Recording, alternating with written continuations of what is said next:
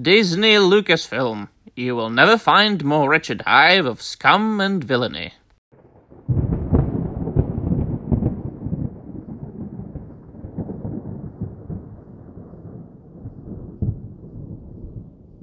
Wes hi everybody and welcome to, to another video. As the uh, TV show Ahsoka concluded, there of course is more and more talk on the internet about Star Wars and the fate of Star Wars and uh, the future of Star Wars and where it is going. Well of course it is going nowhere nice and it is only understandable with the way Disney have established their own new fake Star Wars franchise, as I do call it, a cheap Chinese knockoff of the original thing. And now Star Wars is, of course, and obviously a very controversial topic, even more controversial than uh, the writings of Professor Tolkien that I very often cover. And uh, the fandom of Professor Tolkien is very much united in many cases, uh, about at, I would say, 90% as far as, for example, the Rings of Power goes. But Star Wars has always divided people, and it is always nice to make divisive videos, but to get to the matter of hand, uh, why is it that uh, Disney Star Wars is not such a success? Now, there was an article on by Bounding into Comics just yesterday or today, and they were talking about how uh, a Star Wars producer and also the wife of uh, George Lucas absolutely annihilated Disney Star Wars in their statements and uh, did say that Dave Filoni and uh, Jon Favreau and J.J. Abrams. No, they were specifically talking about J.J. Abrams and um, the other guy, Rian Johnson and Kathleen Kennedy, right? The people behind the sequel trilogy. They didn't understand the story. Well, quite obviously. And we can talk in length about the fact that those movies were poorly made and that everything, or 90% really, of everything that Disney does has full of, uh, full, you know, I mean, is full of plot holes and uh, inconsistencies, and uh, they are constantly break not only the uh, original canon but uh, their own established Disney canon. Just look at the Obi Wan Kenobi TV show; those episodes were contradicting each other, in and in between the episodes, and within the episodes. I mean, one episode was contradicting itself from the beginning to the end. It was it was it was very very poorly made, but the core lies in the destruction of the old Star Wars, on the old characters, which is what Disney are trying to do. Now, they will never destroy Star Wars in the hearts of true fans. I mean, you can always go back and rewatch the original trilogy. And for those of you who love the prequels, such as I do, do go back and uh, rewatch the prequels. If you love the expanded universe, the original pre Disney one, such as I do, do go and reread the books, reread the comics, replay the video games. It, it is as easy as that. But what they tried to do in the new movies, in the sequel trilogy, is get rid of all the old characters that have been popular, extremely popular since 1977 and they have become an inseparable part of pop culture and even culture on Earth in general.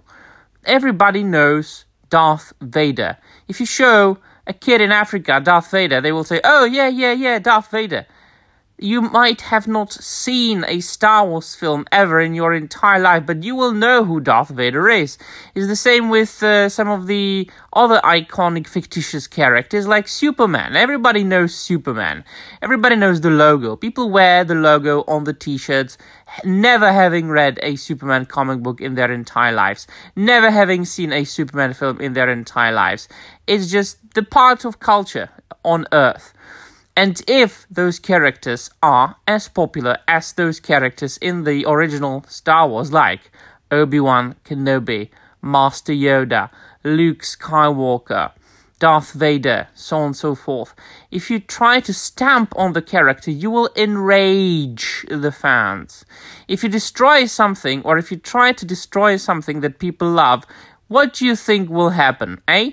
They will get angry. So what they did in the sequels, and I don't think that's a spoiler anymore. Years later, so they first just got rid of uh, Han Solo, like absolutely got rid of him.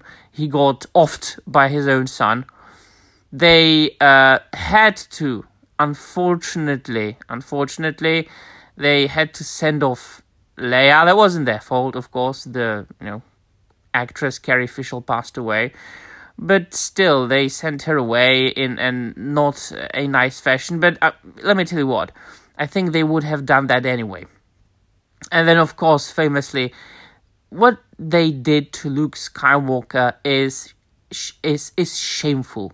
That is abhorrent. They made him into a complete opposite of every of, of, of what everybody was expecting. They made Luke Skywalker into a, a striking opposite of what everybody wanted.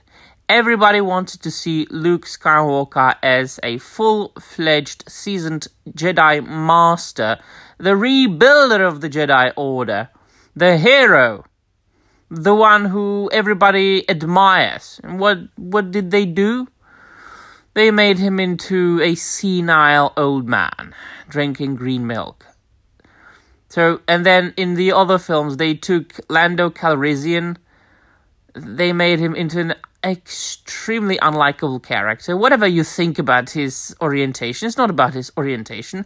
It's about it's about portraying a character of Billy Dee Williams as an annoying prick. And I'm not saying anything against the actor who portrayed the new Lando Calrissian, the young one. Is the writing, is the directing. So it's not really the new characters because you see uh, a success of those products that uh, are really not about the original characters and that are side stories. Because one of the uh, things that the um, that people who are pro Disney what what what they always say in Disney's defense is well expanded universe also had stories about different characters yes many of them enjoyable ones.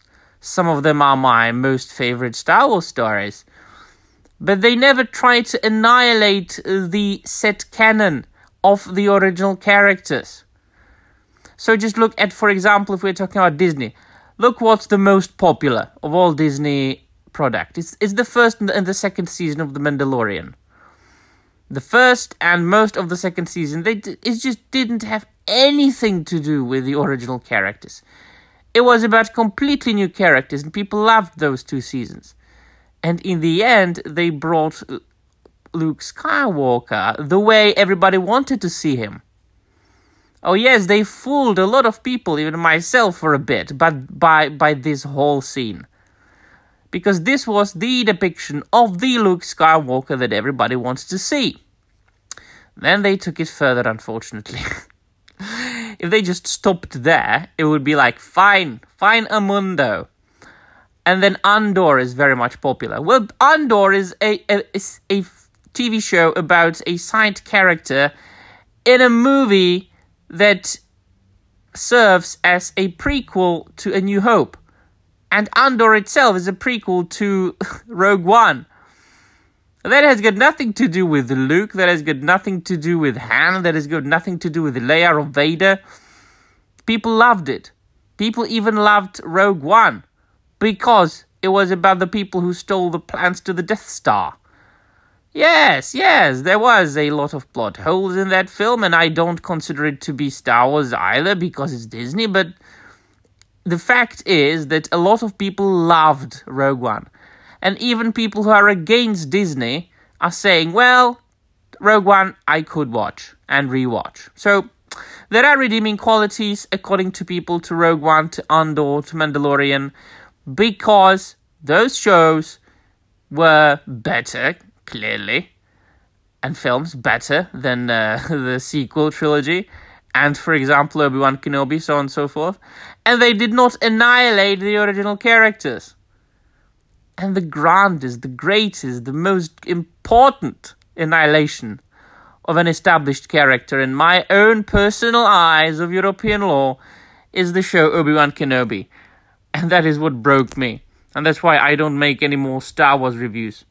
So, yeah, let me know in the comments down below what you think about this entire matter. And that'll be all. Thank you very much for watching, and may the Force be with you. Bye.